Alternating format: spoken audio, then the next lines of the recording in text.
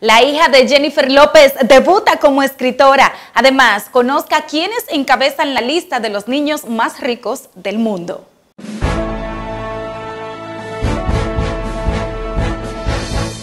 Iniciamos con la hija de Jennifer López, M, que acaba de debutar como escritora tras presentar su primer libro titulado Lord Hermit en español, Señor, ayúdame. El libro saldrá a la venta el 29 de septiembre de este año, tanto en inglés como en español, que son los dos idiomas que se hablan en el hogar de la niña de 12 años, pero desde ya se puede preordenar.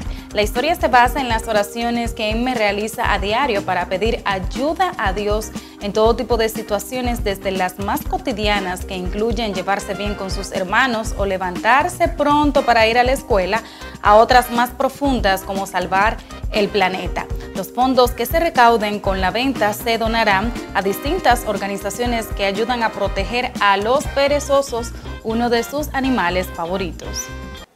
Seguimos con los más pequeños porque con tan solo 8 años y gracias a la fortuna de sus padres, Blue Ivy, la hija mayor de Beyoncé y del rapero Jay-Z, así como sus hermanos mellizos, se encuentran entre los 10 niños más ricos del mundo según el conteo de la lista de los niños más ricos del mundo de este 2020.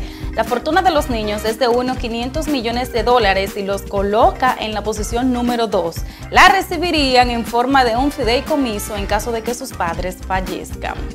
La posición número uno se encuentra el príncipe heredero de Marruecos, Mulay el Hassan, cuya fortuna hoy se calcula en mil millones de dólares. A sus 16 años espera algún día ascender al trono de su país. En el listado también aparecen los hijos de Brad Pitt y Angelina Jolie.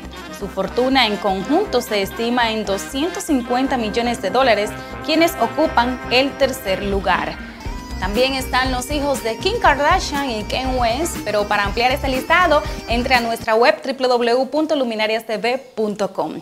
Pasamos de una vez a otra información porque el rapero Tekashi 69, quien salió de prisión el pasado mes de abril, le rechazaron una donación nada más y nada menos que de 200 mil dólares. La fundación No Kid Hungry no quiso aceptar el dinero por la antigua conexión de Tekashi, cuyo verdadero nombre es Daniel Hernández con las bandas organizadas y a sus condenas por tráfico de heroína, malos tratos o intento de asesinato, entre otras razones. El joven artista de 24 años salió de prisión para cumplir el resto de su condena bajo arresto domiciliario por motivos de salud. Debido a esta medida, el intérprete se propuso celebrar realizando una donación, pero nunca imaginó que sería rechazada. Como parte de una campaña infantil, nuestra política pasa por rechazar fondos de patrocinadores cuyas actividades choquen con nuestros valores y nuestra misión, señala el comunicado de la institución. Una triste información es que, aunque el pasado 29 de abril la actriz colombiana Dana García había dado negativa a la prueba del COVID-19, el virus ha regresado por tercera ocasión y es positiva. Soy nuevamente positiva al COVID. Estoy sin palabras, expresó García al tiempo que agradeció por el apoyo brindado. Gracias a todos los que me han apoyado.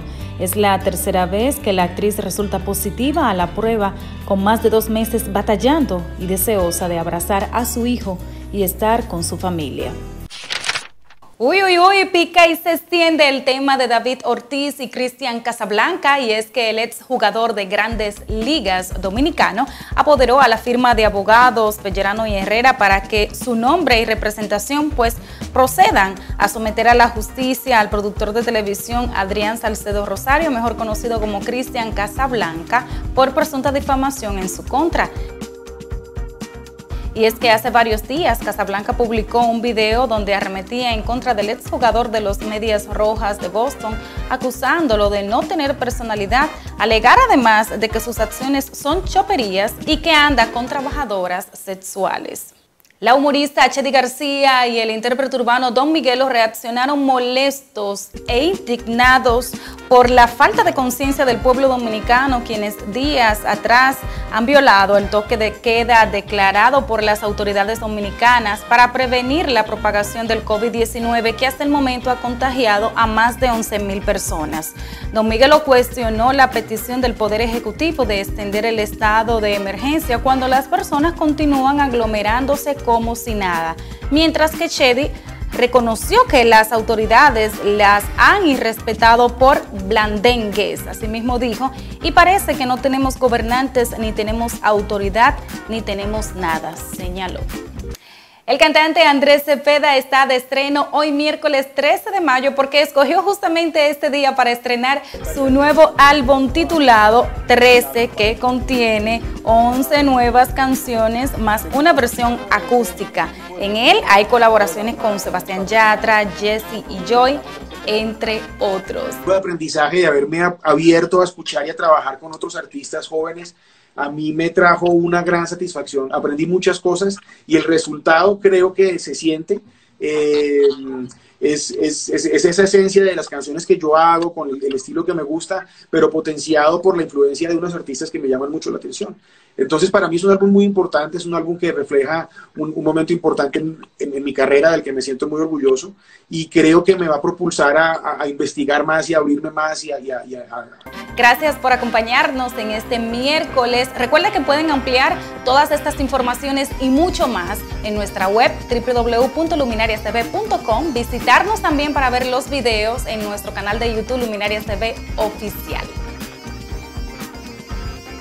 Síguenos en la web como luminariastv.com, las redes sociales arroba luminarias TV y el canal de YouTube Luminarias TV Oficial. Luminarias TV Oficial.